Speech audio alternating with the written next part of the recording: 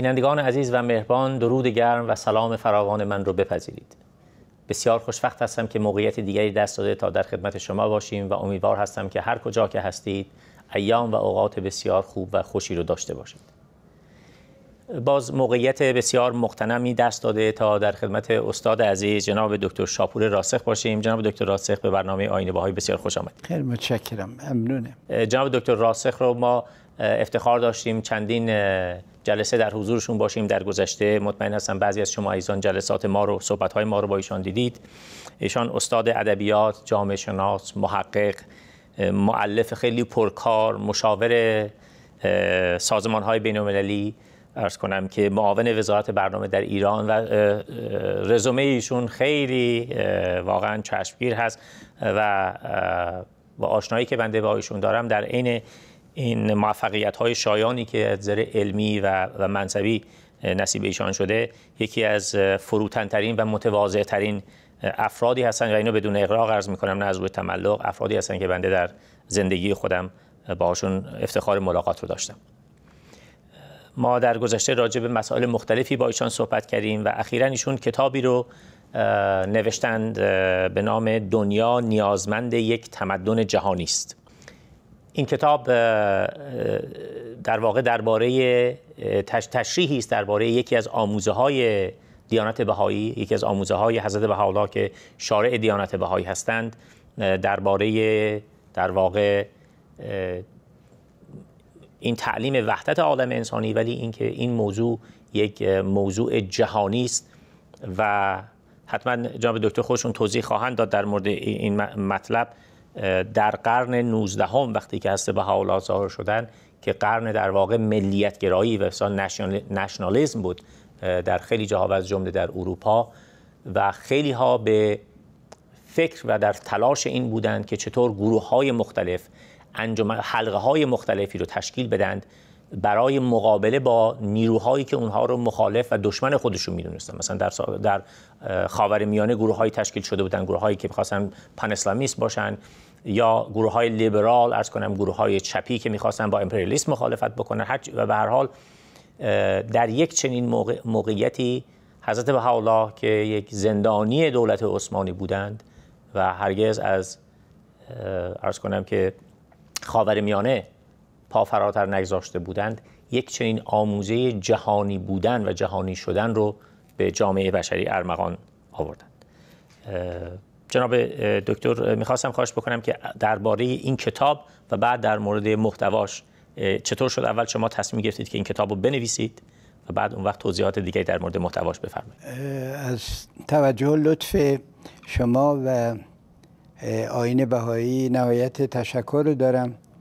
و که به من فرصت داده شده معرفی این کتاب که تقریبا یکی دو هفته است انتشار پیدا کرده بله. توضیح ارز بکنم این کتاب منشأش سوالی که دوستان ما آقای حمید اجازی بود بله بله.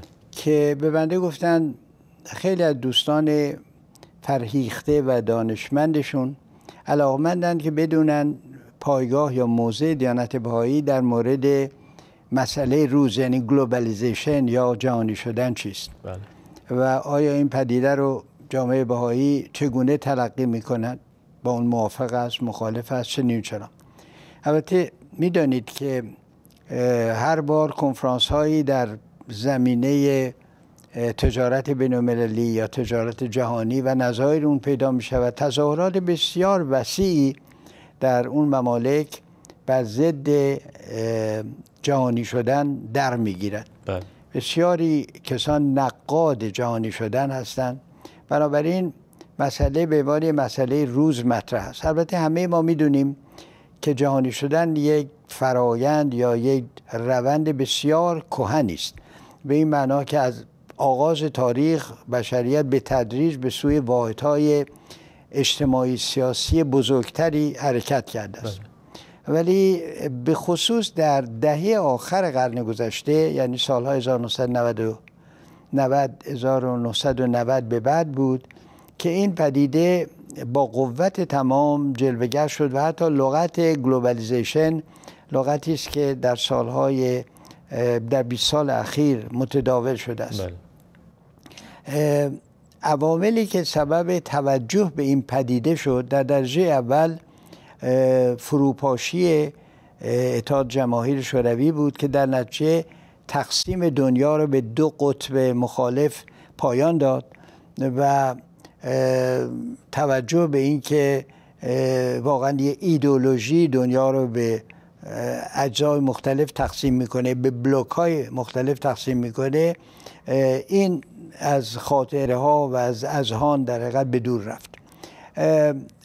طبعا اختراع کامپیوتر و کاربرد کامپیوتر و به خصوص پیدا شدن اینترنت و مخابرات آنی و سریع اینها زمینه رو باز برای جهانی شدن باز کرد و می توانیم بگوییم که یکی از مهمترین عوامل مساعد جهانی شدن همین امکان ارتباط آنی با تمام مناطق جهان بود برای همه کس. شاید سومین عاملی که در توجه به جنبه جهانی مسائل کمک کرد بحران محیط زیست بود. از حدود شاید دهه 60 و 70 کلوب روم یکی از اولین دستگاه هایی بود که توجه رو به محدود بودن منابع کره زمین و اینکه با مصرف افراطی این منابع ما ممکن است در آینده گرفتار مشکلاتی بشویم این مطلب رو مطرح کرد و کتابی نوشته شد خانم و آقایی به نام Limits to Growth یعنی در حقیقت محدودیت رشد و توسعه بله. که در اون پیش بینی کردن مثلا منابع نفتی دنیا در چند سال پایان خواهد یافت منابع آهن ارز کنم سایر اینا و حتی اکسیژن زیرا طبعا مصرف آب. آب که یکی از واقعا مواد نادر و کمیاب دنیا دارد می شود این پیش بینی ها مقدمش در کتاب Limits to Growth آمد. منتها این کتاب در مرحله اول مواجه شد از یه طرف با استقبال فوقالعاده و طرف دیگری با یک نوع سوء اشخاصی آمدن حساب کردن گفتن نه مثلا منابع نفت دنیا به جای 100 سال ممکن 150 سال باشد یا قصه ولی در حقیقت اصل مطلب که دو موضوع باشد. یکی کمبود تدریجی منابع اصلی طبیعی و دوم قضیه آلودگی. این دو مطلب از اون زمان مطرح شد و منجر شد به کنفرانس های بین المللی که البته می‌دونید معروف ترینش کنفرانس ریو دو ژانیرو بود. که اعلامیه بسیار معروفی داده و هنوز هم موضوع اجرای مواد این اعلامیه مورد بحث و گفتگوست برای جلوگیری از گرمای روزافزون جو زمین برای جلوگیری از انواع آلودگی های خاک و آب و هوا. و قصه که موضوع رو بعد کوتاه می‌کنم.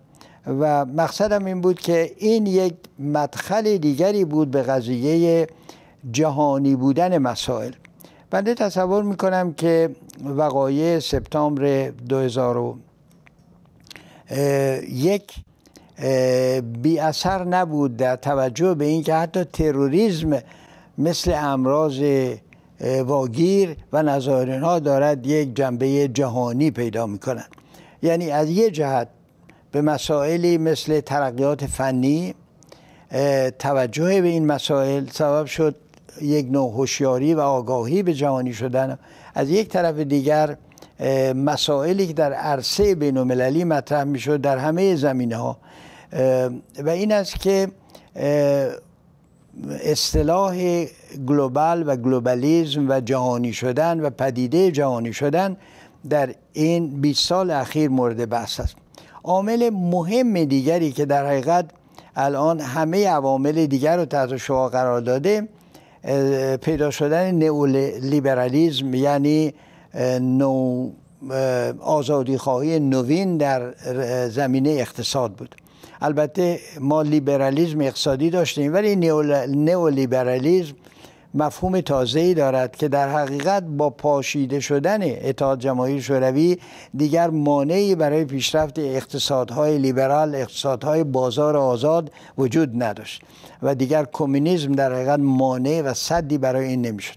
متاسفانه نیولیبرالیسم که بر اساس رقابت به هر قیمت به منظور تحصیل حد اکثر منفعت به هر صورت نهاده شده عواقب در حقیقت دشواری به وجود آورده است که مهمترینش این بحران مالی اقتصادی سالهای 2007-2008 بود که هنوز دنیا گرفتارشه و هر روز سخن از تنزل ارزش پولها یا ورشکستگی دولت ها عدم امکان پرداخت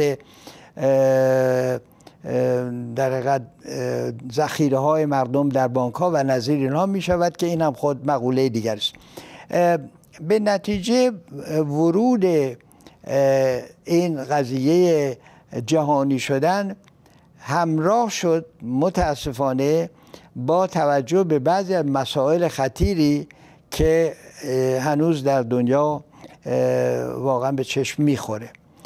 در حالی که جهانی شدن جنبه ها و جلوه های دیگری دارد که مثلا اگر صحبت از پیشرفت علم باشد علم دیگر در قالب هیچ ملتی نمی گنجه. علوم تقریبا با تحقیقات دانشمندان در ممالک مختلف در لابراتوارهای مختلف که دائما با همدیگر در ارتباط الکترونیکی هستند پیشرفت می‌کنه. در هر زمینه ما وارد بشویم به قول یکی از محققان بزرگ می‌گوید سالهای 1850 1950 سالهای بین المللی بودنه یا سیر به طرف نهادهای بین المللی که البته سازمان ملل متحد در سال 1945 در حقیقت اوج این مرحله این رشد به طرف جامعه بین المللی است بله. ولی 20 سال 30 سال 40 سال بعد از اون بعد از پایان جنگ سرد و به خصوص از سال 1990 ما وارد مرحله شدیم که بالاتر از مرحله بین المللی شدن است. مشخصات شاید بعضی مشخصات او رو دارد ولی مثلا شرکت های چند ملیتی در عرصه اقتصاد نئولیبرال کار می‌کنن در حالی که شاید اهمیت این شرکت ها در گذشته نبود. finance یا در حقیقت امور پولی بانکی کارهای به اصطلاح speculative یعنی معاملاتی که از نظر درآمد خیلی خوب است ولی منشأ تولید نیست. اینها رواج پیدا کرد که واقعا یکی از منشأ یکی از عواملی است که بحران 2008 رو به وجود آورد. مقصد این است که اگر ما می‌بینیم نهزت هایی در دنیا بر ضد این قضیه جهانی شدن هست توجیه دارد. برای اینکه خب جهانی شدن سبب جابجایی کارخانه ها شده جابجایی کارگران شده است. عدم توجه به جنبه های اجتماعی تا حدودی نتیجه نئولیبرالیسم است. نه به طور قطعی. برای اینکه می شود یه اقتصاد آزاد رو به وجود آورد که درش بیعدالتی نباشد که درش توجه به جنبه های اجتماعی و نیازهای کارگران و طبقات مولد باشد. البته اونی که تحقق پیدا کرده است وجه مطلوب نیست ولی باید اصلاح بشد و اصلاح پذیر هم است. حالا قدرت بنده از این مقدمه این بود که ما از حدود 1990 وارد مرحله جدیدی ورای مرحله بین شدیم که مظاهر خودشو در تجارت جهانی در حکومت اقتصاد آزاد در اهمیت اقتصاد به اصطلاح پولی و بانکی در عرصه اقتصاد دنیا نشون میده. حضرت با در زمانی همطور که اشاره فرمودید سخن از حرکت دنیا به طرف جهانی شدن راندن که اصلا بخشی از کره ارز کشف نشده بود. زمانی سخن از او گفتند که احساسات ملی در حالت قلیان بود. در اون زمان حضرت با الله فهمیدن کره ارز به منزله قطعه واحده. ملاحظه می شود و سکنه او مثل شهروندان کشور واحد. اما حضرت بحالا به این اکتفا نکردند بلکه قوانین نظام ارزش ها تشکیلات سازمان ها حتی نمادهایی که برای چنین در دنیای جهانی شده ضرور هست اینها رو ارائه فرمودن جناب دکتر آسه خیلی سپاسگزارم از این تجزیه و تحلیل خیلی شیوا و عمیقی که فرمودید از وضعیت کنونی و این پروسه در واقع globalization جهانی شدن. فرمایید یک تنفسی بدیم و بعد برگردیم. اون وقت شما بعد در مورد این کتابی که نوشتید و دیدگاه دیانت بهایی راجع به این قضیه جهانی شدن مطالبی بیان بفرمایید. خیلی سپاسگزارم بینندگان عزیز از شما دعوت می‌کنم به قطعه برنامه کوتاه توجه بفرمایید تا ما صحبتمون رو با جناب دکتر راسخ درباره کتابشون که نامش هست دنیا نیازمند یک تمدن جهانی است ادامه بدیم.